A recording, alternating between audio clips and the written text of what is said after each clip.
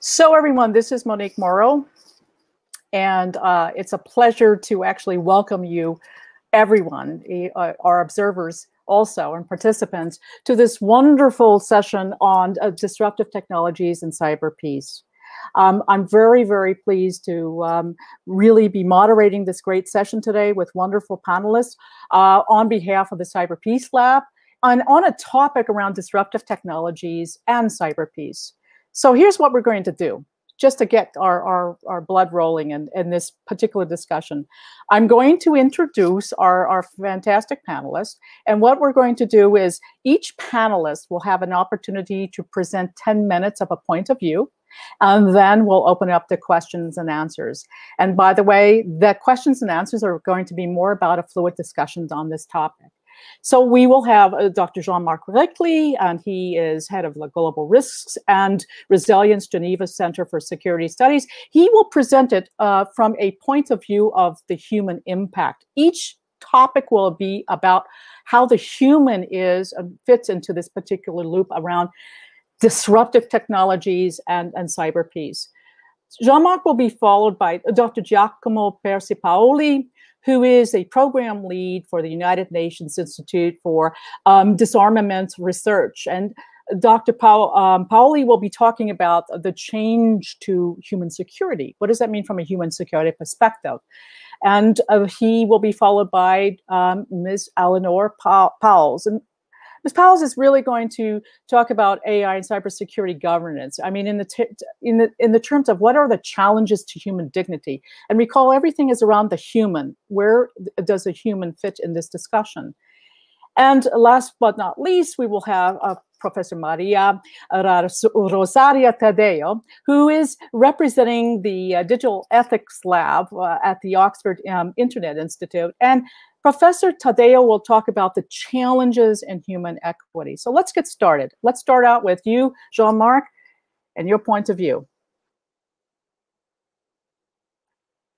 Thank you very much, uh, Monique, and thank you for the Cyber Peace Institute for the invitation and for uh, giving me the opportunity to speak with, in the panel with such a great lineup of uh, speakers. So, um, what I will do in the next 10 minutes is just to highlight um, how technology is impacting uh, people. But before I start, just uh, want to give you a small vignette. You know, in 1982, a uh, KGB spy was arrested Colonel Vladimir Vetrov, uh, codename um, Farewell, by the West. And what Vetrov did, uh, he was uh, frustrated by how the system was working in the Soviet Union. And so he decided to leak documents about uh, the spying network in the West on, on technology.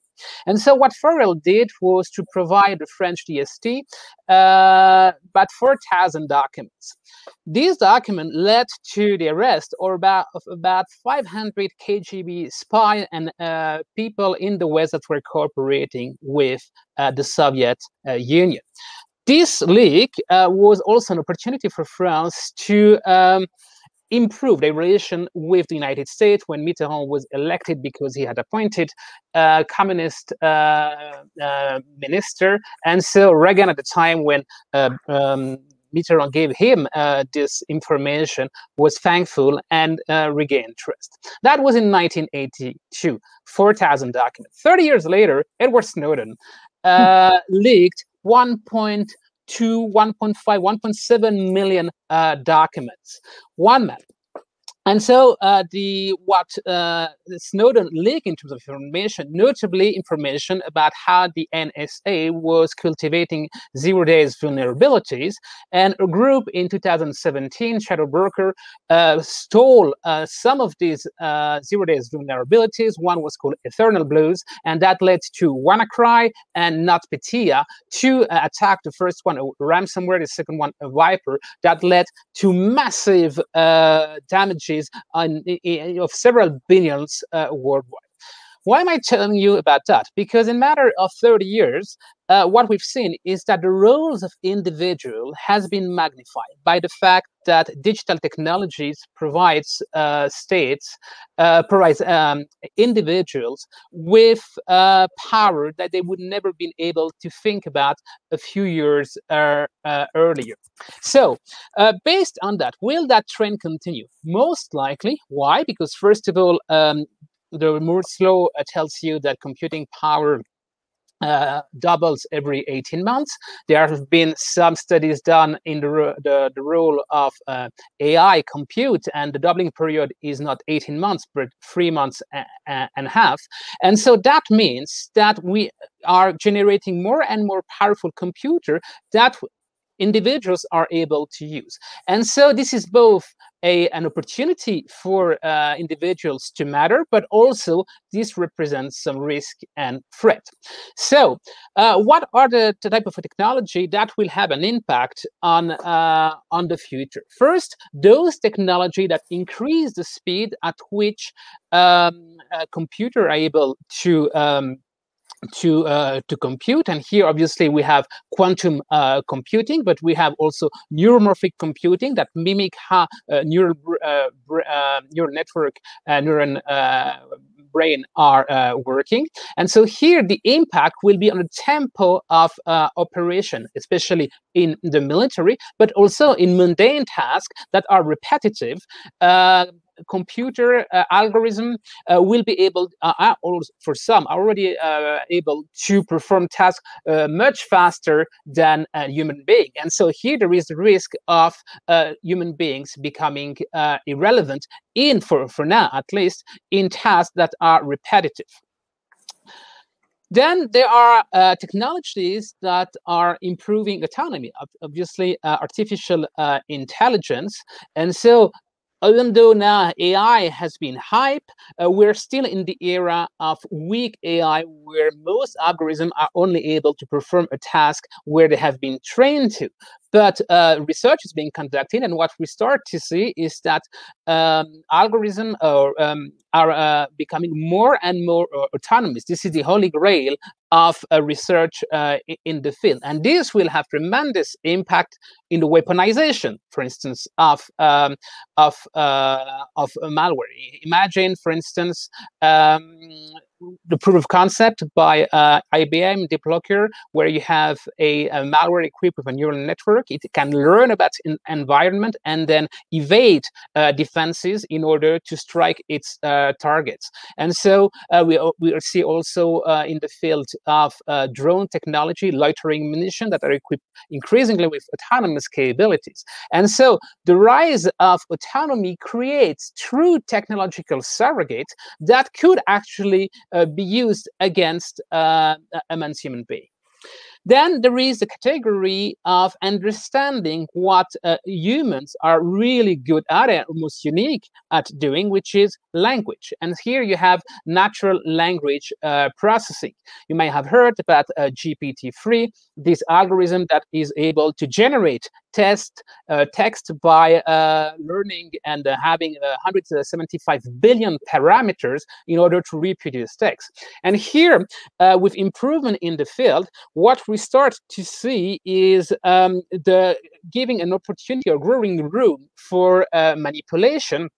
We could think in the future of true synthetic editor where uh, text could, would have been generated completely artificially by an algorithm. And here uh, there is the risk obviously of disinformation manipulation uh, similar to what would happen with uh, deepfake. Deepfake if you uh, look at this technology was non-existent prior to 2014. The first video of deepfakes uh, were uh, found on internet in the end of 2017 and now uh, you might have read this article uh, two weeks ago a, um, a woman in pennsylvania uh, created deep fakes of uh, the contender of her daughter's uh, in the, the, her cheerleading uh, team and she did fake videos of the of the, this uh, this woman naked or cursing in order to undermine the reputation, so that her daughter could actually uh, join uh, the team. So you, you can see again an example where uh, the technology that was non-existent five years ago has democratized so rapidly and had been repurposed by some people in order to do harms. I just another category of uh, technologies that are very uh, of concern, could also be uh, very much uh, good. These are immersive technologies uh, like augmented and virtual reality uh, that could have lots of potential benefits, but also could amplify the phenomenon that we've seen with social media and um, locking people in uh, information bubble but if immersive technologies this is not just Im um, uh, information bubble but that would be uh, space perception uh, bubble and here the gaming industry will play a very important role and uh, more and more games will be immersive and so this will have an impact on for, for instance the how kids are uh, um, thinking about the world. And so here also an avenue for massive uh, manipulation. Robotics is another uh, instance. You might have remember end of the uh, 2000, we had robots that could barely uh, work. And now if you look at videos of Boston Dynamics, you suddenly have uh, robots that are able to do parkour, backflips. And this is pretty scary. That uh, combined with autonomous technology, we start to see uh, things that were only in, in movies with robots that are have the same range of motion than human beings, are fully autonomous. Uh, during the COVID-19 crisis, some robots were used in hospital or, in, or to uh, warn people in the streets to wear masks or uh, other information. Obviously, that leads uh, in uh, what we've seen so far uh, in the best result when it, when it comes to artificial intelligence and machine combining the two. And so human machine teaming is definitely something that is uh, high on the agenda of uh, most uh, states, but also companies, uh, because this is when we achieve uh, the best results. In the military, this has already some uh, doctrine, for instance, with the so-called uh, loyal wingman, the ability of a pilot to direct a swarm of, of drones. The first experiments were conducted last year, but here this is just the beginning. And so if you push the rationale of human-machine teaming, what you end up with is connecting uh, the human beings directly to the machine through the so-called brain-computer mm-hmm. interfaces. And here you have lots of uh, research that is being carried out. Fantastic application, for instance, in fighting trauma, post-traumatic stress disorder. But if you're able to do that, you're also able to erase other types of uh, memory. So the last two things, and I will conclude by that, is that this technology First of all, they are converging. And so in the future, it will mean not, not just one uh, technology that is going, going ahead, but these technology are uh, mutually self-reinforcing. And so we will develop some technologies that probably we're not even aware now, but that will combine, for instance, synthetic biology with artificial intelligence. And that will create a complete new uh, technological uh, development, but also completely new uh, threat and risk uh, to uh, human beings. And so, with that, what we will see increasingly is the fusion of data. But the fusion of data, not just digital data, it will also be genetic data and brain data. If you think about the impact that uh, social media had already on uh, on people in terms of uh, manipulation of opinion, in terms of polarization, and um, creating groups that are no longer talking to each other just with digital data. Think about the consequences of the fusion of digital uh, brain data and genetic data. So uh, I will stop here, but as you can see, there are a lot of possibilities for things to go right, but also things to go wrong, and we want to prevent that from. Happening. Oh my, my goodness, we're on a tectonic shift here. Um, so thank you very much, Jean-Marc, for actually setting up the discussion on human impact. I'm I'm intrigued. Uh, at some point, we'll have to talk about telepathy. Uh, so let's go to you, Dr. Uh, uh, Giacomo Paoli. What do you see in, in, terms of challenges of human security? Um, what are your thoughts here? uh, you know, as we see that, because human security is a big topic. You know, we tend to think about it from infrastructure perspective. I have read uh, some of your work around uh, swarming uh, technologies for good and swarming technologies that can go awry. So you have a few minutes here to, to set up that discussion. Okay, thank you. I'll, it's a challenge, but I'll try. I'll try to do that. And uh, uh, thank you so much for inviting me to participate in this event, and thank you also to Jean-Marc for setting the scene so nicely. There will inevitably be a degree of overlap when it comes to the types of technologies that he mentioned and the types of technology that I will mention. But I'll try to focus more specifically on the concept of of human security and potential risks. Now, for me, it is important that um, we uh, interpret uh, or we give risks the right the right meaning. Risks does not kind of exist on its own. It's always the result of at least three factors. One are the threats uh, the other one is the vulnerabilities and the third one is the impact that a potential kind of a, a, a successful malicious action would have on on the the identified target or victim and to me, it is important that we keep all of these three kind of concepts in mind because it's very difficult to overgeneralize the uh, risk uh, that new technologies bring to, to human security. Um, uh, Jean-Marc mentioned, uh, I'm going to try to go briefly in, you know, through all of these three categories. So Jean-Marc mentioned the, the concept of technological convergence, which I think for me uh, is, is very important. Um, because while in lab or in development stages, many of these technologies are studied in isolation. When it comes to their fielding, uh, real world applications are likely to be uh, uh, to happen in you know in, in combination. And uh, what type of convergence can we see from from what Jean-Marc said? There are at least two. One is convergence of different digital technologies that are uh, mutually reinforcing and, and supporting each other, and then convergence between uh, digital and, and and physical technologies. And because the scope of this of this uh, uh, event is all about the, the impact on cyberspace, they both have uh, uh, you know they're both relevant. Um, in the interest of time, I'm going to explore one of the mostly kind of a discussed uh, examples of technological convergence, digital convergence, which is between cyber and and AI.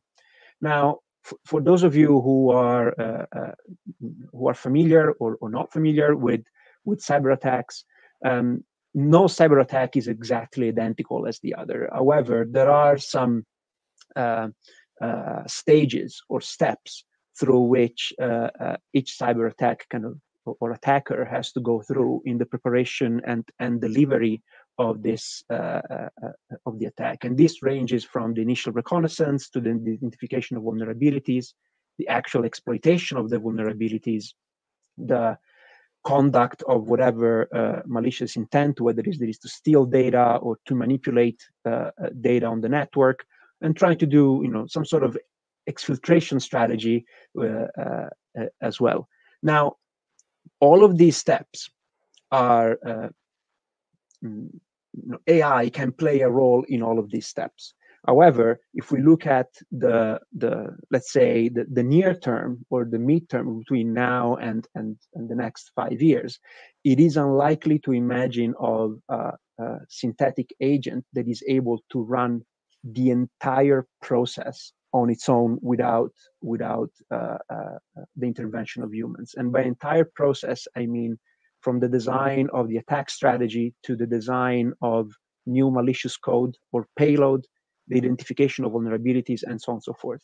However, uh, and kind of following up on what Jean-Marc was saying, there are uh, already uh, AI has been used to incrementally but significantly improve the efficiency and the effectiveness of each one of those steps.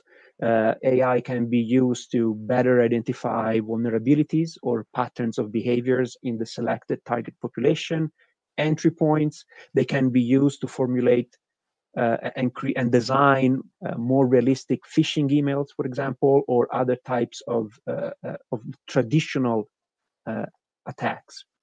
It isn't until you know the probably the more the five to ten years uh, uh, horizon that we can probably see uh, uh, synthetic agents, artificial intelligence operated agents that are able to run the entire through the entire process. by themselves. Um, and then there is the the you know of course this is always if we look at the the vulnerability side of it, we should also in, in, take a moment to reflect how societies have changed over you know the last two years and how increasingly reliant uh, we all are on on the digital environment to pretty much uh, all, of, all about our business. Probably before COVID, you know, this event might have been uh, physical somewhere. Uh, so it's not only the the kind of the the economies and the business environment that has been uh, heavily impacted. If you remember, the CEO of Microsoft in April last year said we've witnessed two years of digital transformation in two months, and mm-hmm. this was April last year. Imagine now. Um, so clearly, it hasn't progressed at that same pace, but we are critically transforming the way the entire world operates. And this means that from a vulnerability perspective, the more humans are relying on digital devices, the more the, the vulnerable we, we all become with the blurring lines between uh, uh, the work environment, professional environment that where cyber physical defenses can be put in place, you know, air gapping between systems. Uh, all of these things are somehow becoming obsolete in, in an era where everyone is working from home. So these these things have to be uh, uh, kept in mind. And one area of convergence in the vulnerabilities kind of discourse is the area between advanced materials and and digital. There is a lot of research that has been uh, going on now around miniaturization and digital. look up the concept of, of smart dust, which we're looking at creating connected you know, uh, devices that are so small that they're basically invisible to the human eye, uh, and they're able to you know, collect data, transmit it wirelessly somewhere else. Um, but also think about the, the advancements in, in smart uh, textiles and e-fabrics. All of these uh, uh digital innovation are meant to make uh, uh, our kind of experience as humans and as users the the more rewarding as possible but at the same time um, they open up a whole new range of potential uh, vulnerabilities and and that could be exploited and the last point i wanted to make um, looking at the time is about the issue of impact and how contextual that is now mm-hmm. the concept of human security um, will really depend on on on where we are and and uh, and context, contextual factors. And I'm just going to bring one example. If we think about uh, a potential attack to uh, the digital banking infrastructure in uh, Europe, will likely be very different from the same attack in Latin America or in Africa, where uh, the digital banking has you know has basically been uh, uh, one of the of the major trends uh, because of of the difficulty in having like a, a, functioning infrastructure of physical banks. Digital banking has become the kind of a the the gold standard there. So an impact that such an attack would have on, on, human security is is very contextual dependent. And of course, I haven't touched on lethal autonomous weapon systems or swarms very happy to do that in the in the follow-up discussion. Thank you. Oh, definitely. Well, thank you so very much, uh, um, Dr. Paoli. Uh, you've set it up in terms of what are the issues around human security, and uh, there's a lot to, to be discussed here, specifically about how where our worlds are converging. Well, let's look at what it means to have a challenge in human dignity, and then the human dignity component here um, Ms. Eleanor Pauwels will, you know, give us a view, if you can and will, and I know you will, about what that means, because there's so much going on, and uh, when we're talking about AI and human dignity, the worlds are converging. Your background has been uh, a lot in the area around genomics and, and that play, but how do you see the, this world, and where should? Here's the most important part of this: where should the human play? So, um, up to you now. Looking forward. Good afternoon. Uh, it's a pleasure to be sharing insights with all of you today. Thank you so much for, for the opportunity. So one of the most significant legacies of the global crisis we face will be the way that the pandemic dovetails with another major global disruption, the convergence and democratization of AI and other dual-use technologies. And both Jean-Marc and Giacomo have uh, alluded to this. So computer scientists are developing deep learning algorithms uh, that can recognize life patterns within massive amounts of population data. And at the same time, geneticists and neuroscientists are decoding data related to genomes and brain functioning. So learning about uh, what makes us human. The potential for advancing our condition, for a new symbiosis centered on optimizing human and biological life might simply be too powerful for us to refuse. Yet at the same time, this epistemic revolution embodies a new biopolitics where knowledge and power asymmetries could seriously undermine human agency and dignity. So I will cover two significant uh, challenges related to AI and tech convergence. First, in the short term, protecting populations from collective data and algorithmic harm. And then second, in the longer term, shaping the convergence of AI and life sciences, including neurotech and genomics, with the goal to preserve people's agency and dignity and promote a form of collective empowerment. empowerment. Uh, so essentially, we need to learn to live uh, with dual use. So let me start with the near-term impacts, with the threats to human dignity that are produced by a first level of convergence, what I call the Internet of Bodies and Minds. Mm. So we have entered a, a new tech era where our private and collective human experience has become free material for behavioral surveillance. So our patterns of life, our emotions, physical and biological data can be turned into predictive insights to fuel epistemic and cyber conflicts. So let me articulate for you the technical assemblage, the combination of dual-use technologies that are inc increasingly used uh, in conflict-prone and fragile countries. So combined with techniques for sensing and data capture, AI systems can be designed to analyze demographic, biometric, facial, and to some extent emotion data about individuals and populations. And based on these training sets, algorithms can then learn to analyze and predict human actions and behaviors. And such a detection capacity is also used for crowd analysis, where AI can help predict crowd behaviors, uh, map social interactions or grouping in crowds, and flag atypical behaviors. In addition, access to large datasets captured through satellites and drones equipped with video surveillance can also reveal the location, settlements, and movements of refugees, minorities, minorities and ethnic subgroups. So increasingly, uh, such form of behavioral surveillance could help states and non-state actors alike anticipate populations' movements during protests, elections, ceasefires, religious or social events to better enforce control, or repression. And we have seen how the convergence of AI biometrics and techniques below the skin, based on facial, voice, gait, and DNA samples, is already used in China for profiling based on a subpopulation's ethnicity and phenotype. In other regions like sub-Saharan Africa, uh, several countries also face a proliferation of technologies that make bodies and minds increasingly traceable. So for instance, uh, the AI software called iSentry used to detect abnormal behavior in the streets of Johannesburg, uh, mobile biometric devices deployed by Uganda police force and that use AI to confirm a match on the spot, facial and behavior recognition used in Zimbabwe to predict the movements and actions of people in public spaces. So controlling populations, uh, digital bodies and minds is the ultimate postmodern form of biopolitics. And there is a tendency to underestimate how converging technologies can be designed uh, to manipulate behaviors for social and political control with corrosive human rights uh, implication.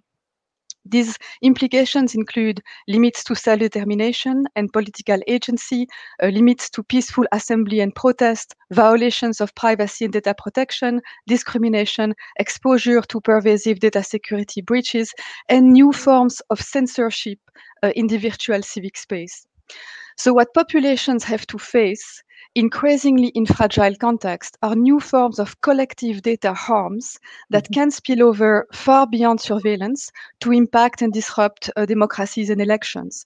So, in countries where privacy and data protection policies are not translated into robust operational mechanisms, state and private sector actors can extract sensitive personal data from an array of online population databases for targeting ethnic and socioeconomic groups. And they can exploit citizens' personal profiles and information networks for spreading rumors, targeted propaganda, hate speech, mis and disinformation.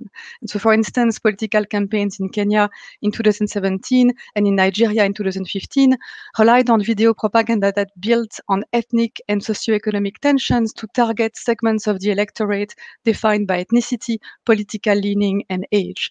And such disinformation operations were also built on citizens' fears related to terrorism and public health Uh, the rationale behind such sophisticated disinformation architecture is to immerse citizens in an alternative virtual reality where they themselves become producers of emotional manipulation. And Jean-Marc mentioned that uh, very eloquently.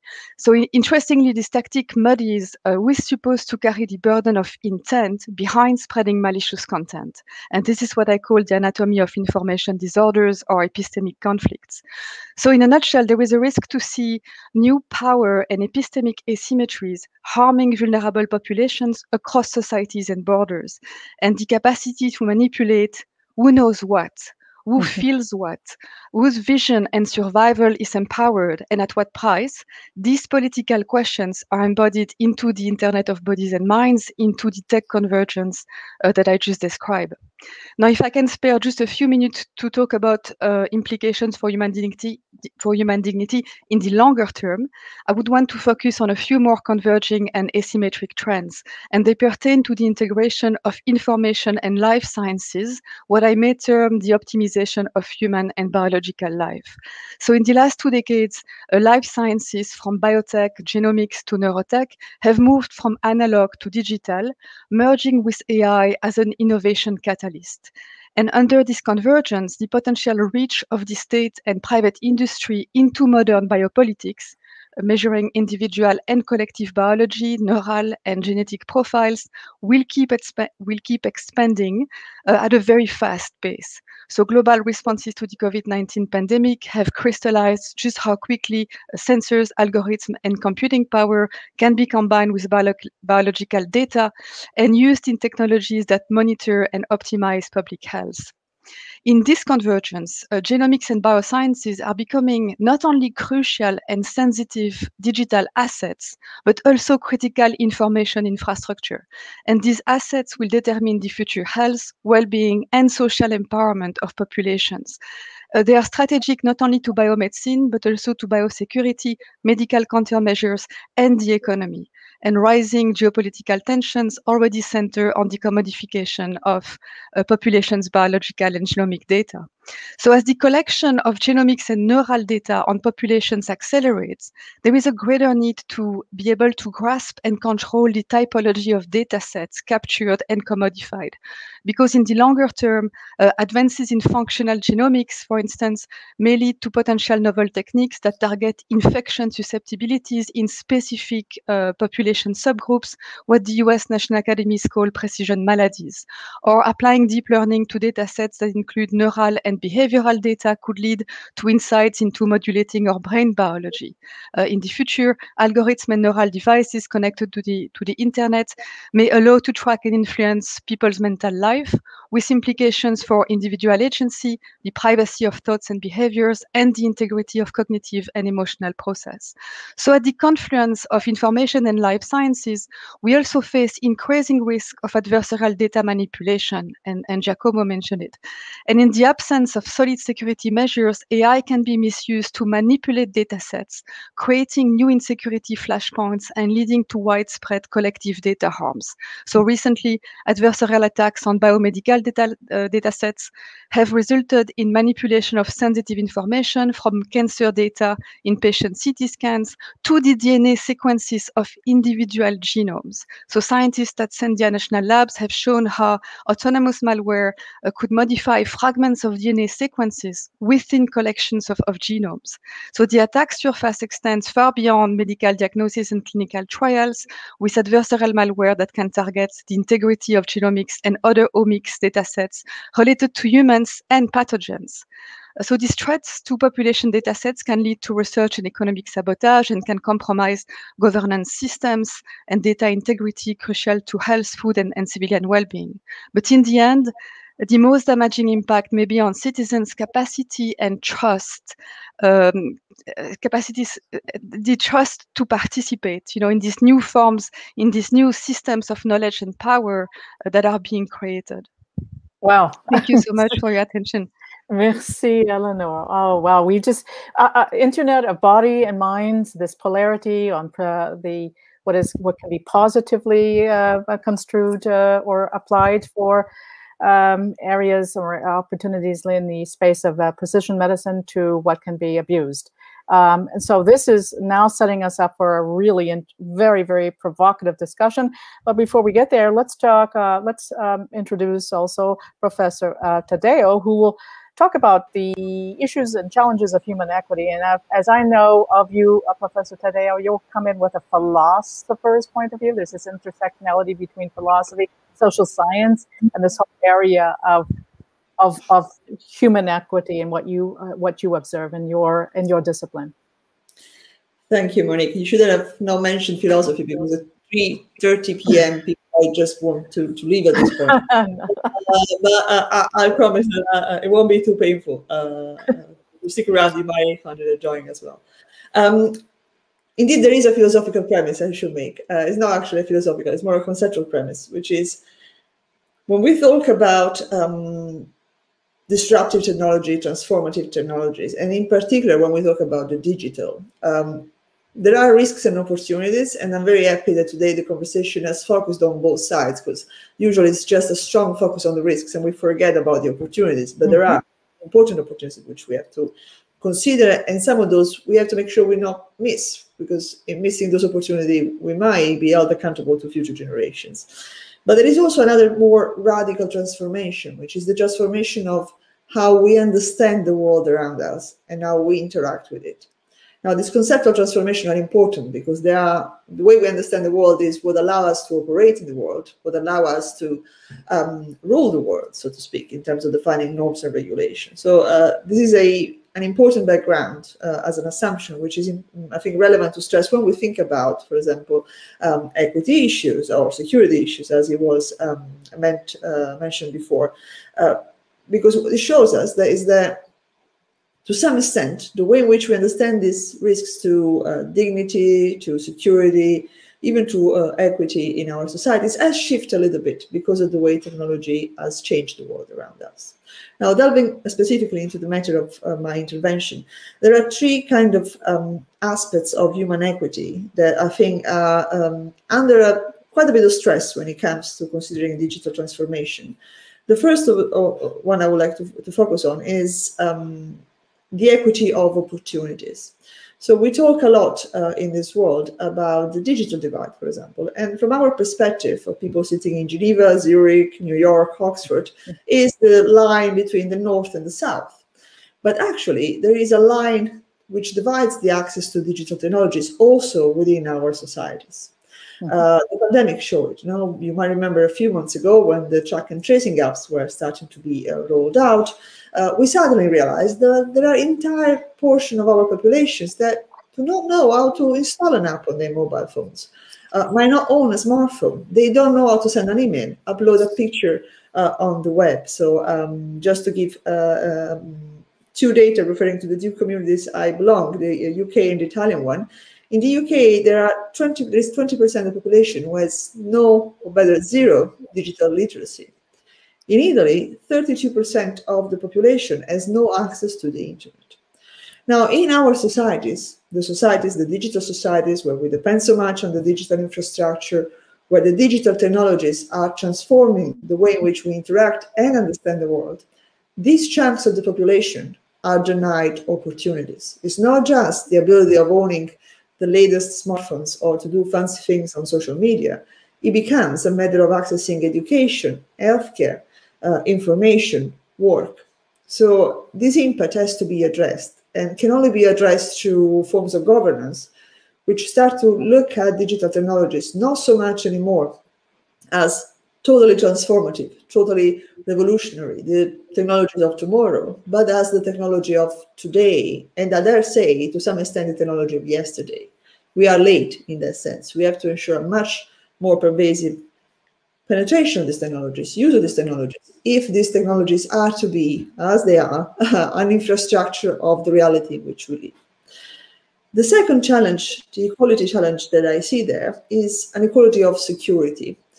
Uh, a couple of years ago, Francesca Bosco and I uh, wrote a small uh, article on uh, whether cybersecurity should become or should be considered a common good. Mm -hmm. um, and uh, it's quite trivial if you think about it. Um, the digital infrastructure is something on which we rely for many, many reasons. And I think Jean-Marc and uh, Giacomo identified and mentioned a few important aspects uh, through which uh, attacks and threats can be posed to our societies via the digital. But it's not just the grandiose uh, scenario of state uh, security or big firm and big company security. It, also, it is also um, the security of the small Internet of Things devices, which we might have in our houses, in our offices, in our um, cities. That is also like a vulnerability. When we think about that, mm, security becomes a cost for companies which develop these devices, a cost which is uh, not um, uh, absorbed by anybody but the customers.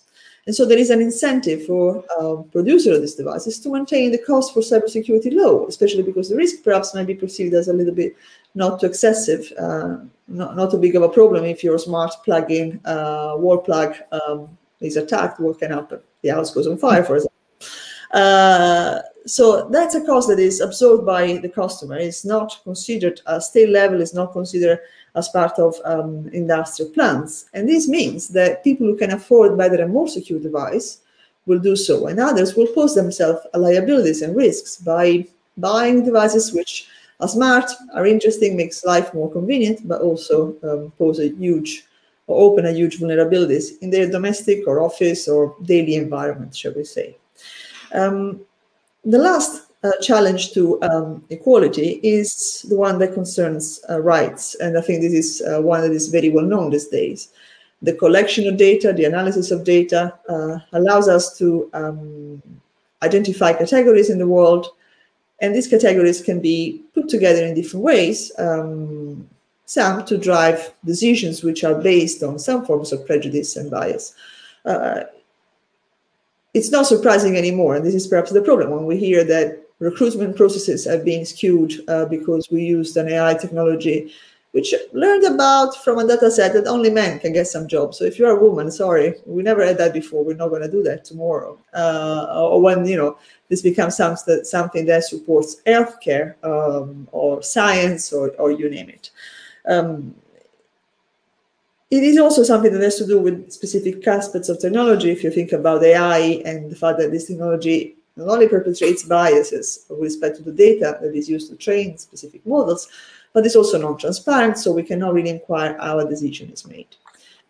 With respect to this point, I'd like to stress one thing, is that we've had so far, perhaps, the wrong approach. We have thought that the way to ensure that bias or discriminations or rights are not breached is to develop um, from the start ethical um, pieces of technologies AI which is non biased, uh, AI which is more transparent. I think this is an approach that works only in part because we are talking about technologies which adapt with the environment and revise themselves and refine their behavior with respect to the environment. So it's the moment in which uh, has arrived in which we understand that we have to shift the focus from developing ethical technology, so to speak, to have governance approaches, auditing, for example, to keep this technology in check as it works. And so this takes me to the last point uh, of my um, intervention here.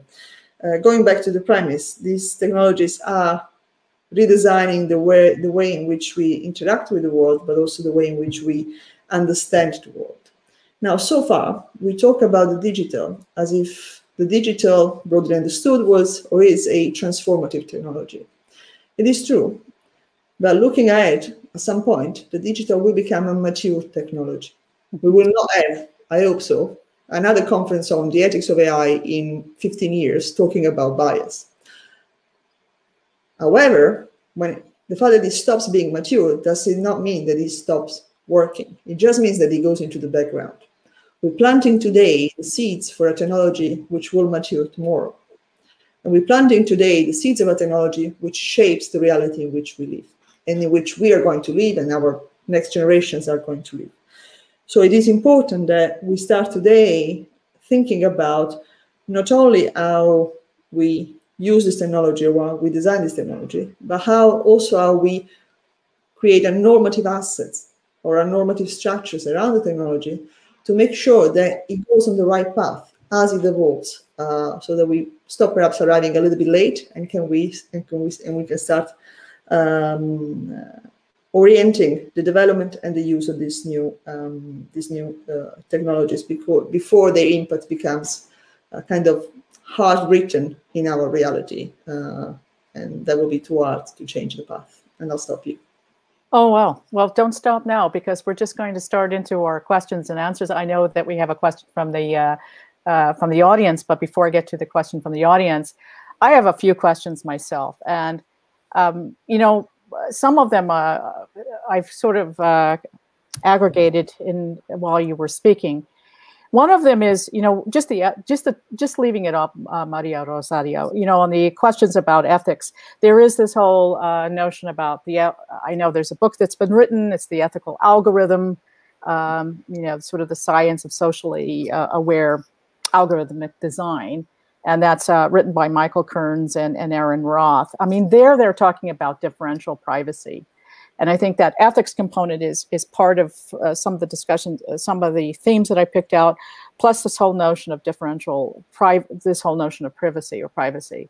So my question to, and each one of you can come and hop hop in because this is an, our na- our natural discussion. Is privacy dead? No, that was a bad statement that someone mentioned uh, uh, a yeah. few days ago. Privacy is not dead because privacy is a right that protects our dignity and our dignity is not that, cannot be that, should not be that. Um, I think that privacy, however, uh, as many other rights, um, uh, needs to be re- not redefined, but we could extend or expand our understanding of privacy to make sure that we are protected in a better way from the risks that digital technology poses to us. I'll give you an example. Um, we talk about privacy in terms of individual privacy. So protect my my identity. But when you look at big data or AI or statistic analysis, it's not really the identity of people that is a risk. It's much more the grouping of people. My, my privacy is not a risk because I'm Mariarosaria and I like some kind of music or some kind of food.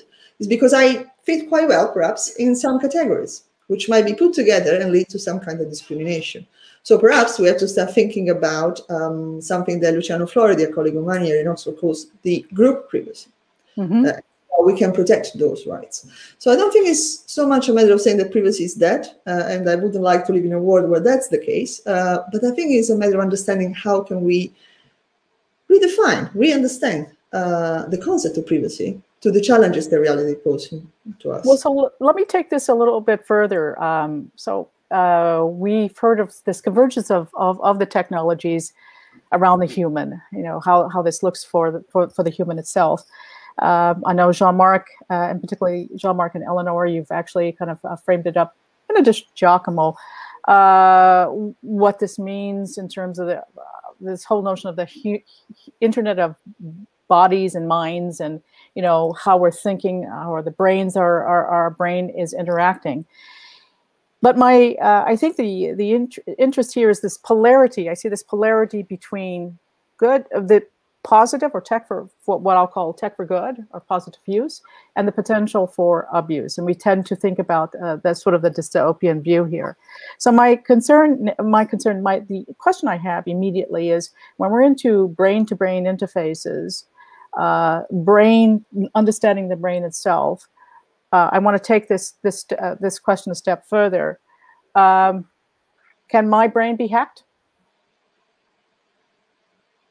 That's for you, Eleanor. I set it up for you. Thank and you then so followed by you, followed by you, Giacomo. Come on in. This is this is a great discussion here. Yes.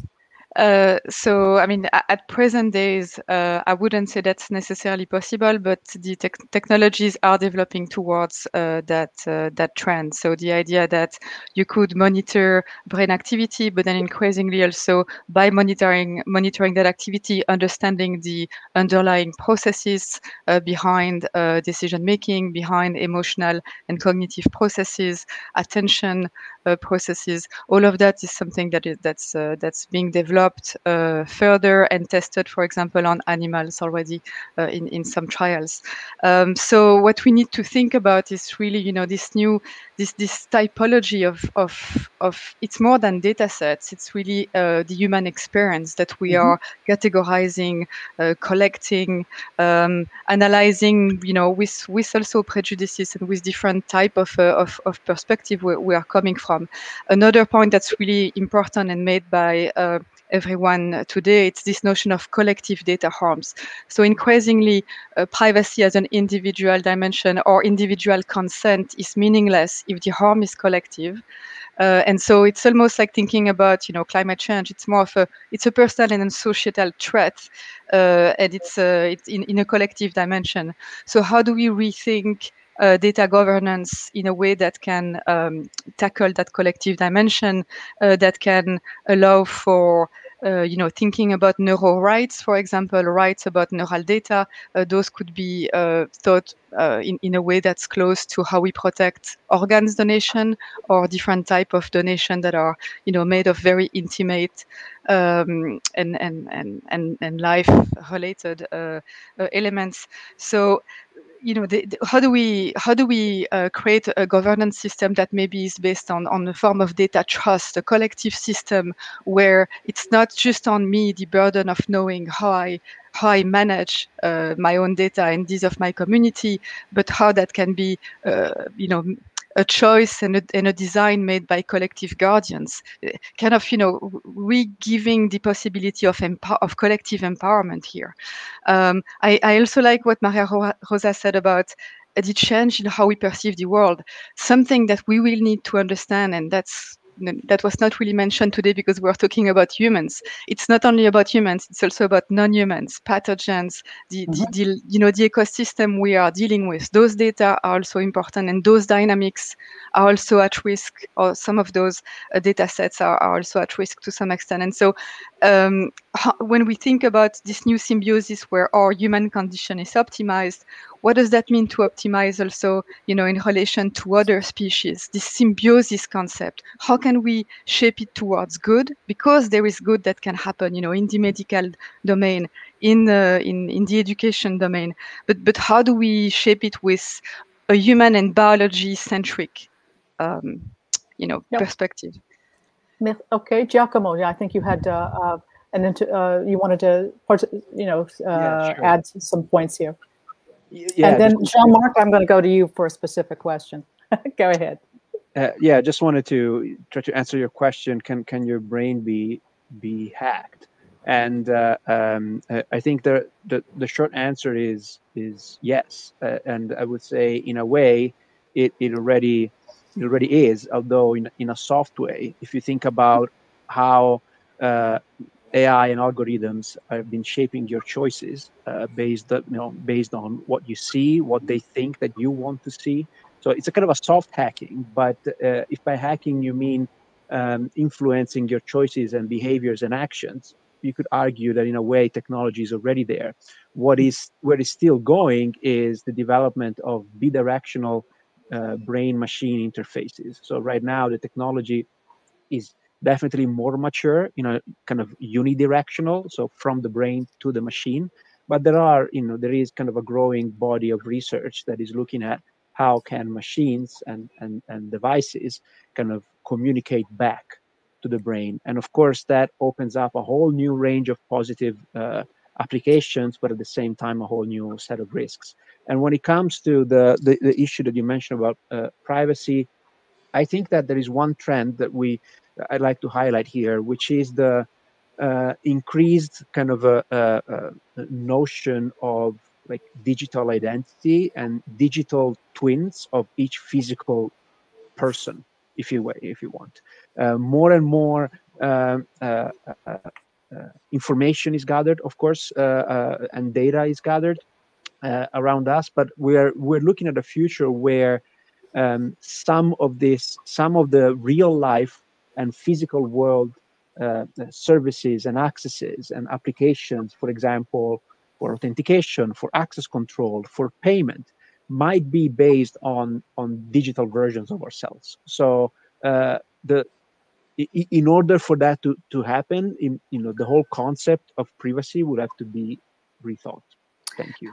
Thank you. Thank you very much. And I note that we um, we have uh, a few minutes left here. So what I'm going to do is um, allow Jean-Marc to actually uh, provide a comment uh, from uh, from from the floor here, our audience, with regard to this whole notion about uh, the possibility of having a cyber uh, peace treaty or not, or whether or not that could even be enforceable, what would be required. I'm going to, so Jean-Marc, if you can just in two minutes comment to that, and then I'm going to go to lightning round for all of you.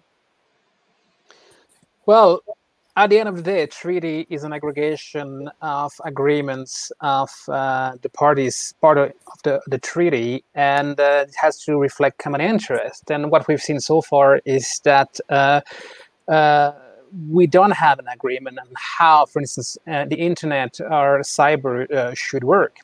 And what we've seen now is that there is increased polarization because uh, great powers have understood that norm setting uh, is the first step to build up uh, a world that is similar to, to, to, to your worldview.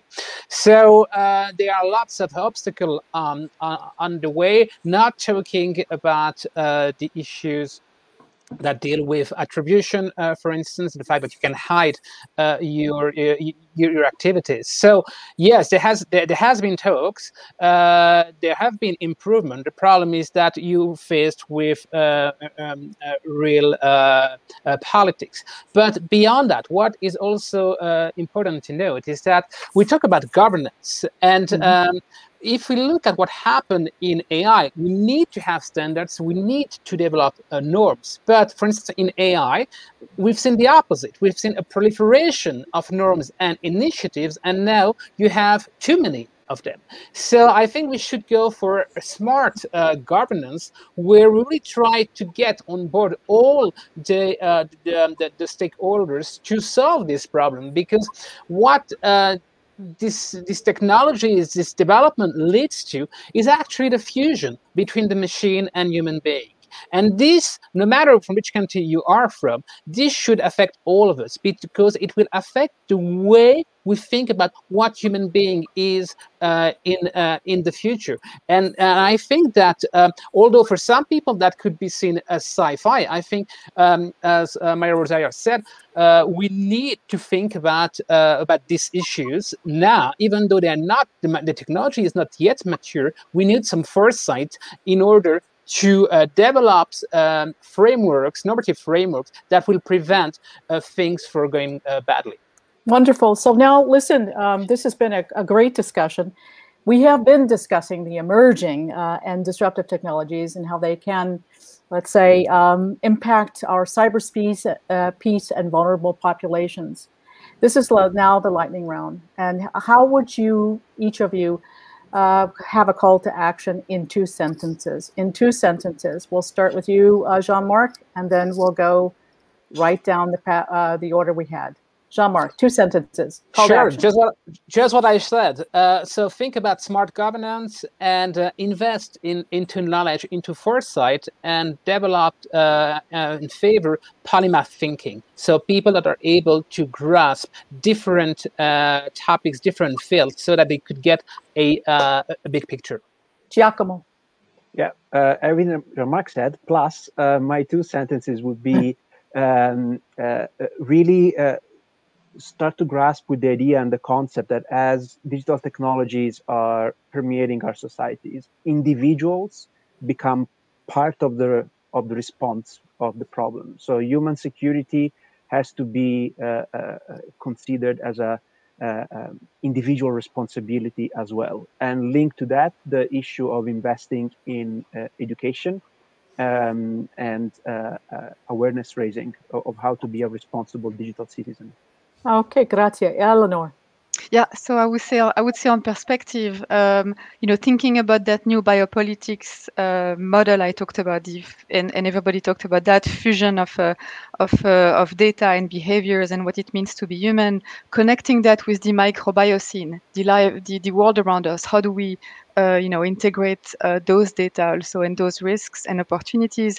And two methods for, for thinking about this foresight, you know, everybody mentioned it, across tech and across sectors, public and private, but also a form of normative foresight where you have a theory of no harm when it comes to population data sets and critical uh, information infrastructure. And last but not least, Maria Rosario. Thank you. I think the two points would be uh, to protect innovation by protecting human invent ingenuity, innovation, imagination, uh, to make sure that we can, you know, keep progressing on that side, but also uh, regulate innovation with stewardship to steer it. So to make sure that today's innovation, and tomorrow's innovation, will respect the fundamental values of our societies. Thank you, my fellow panelists, for a wonderful discussion, uh, and to the Cyber Peace Institute Cyber Peace Lab for framing this discussion up. I feel that we are just at the tip of the iceberg, so I am sure and positive there will be a continuation. Thank you very much. Thank you. Thank, Thank you so much. Thank you. Thank you.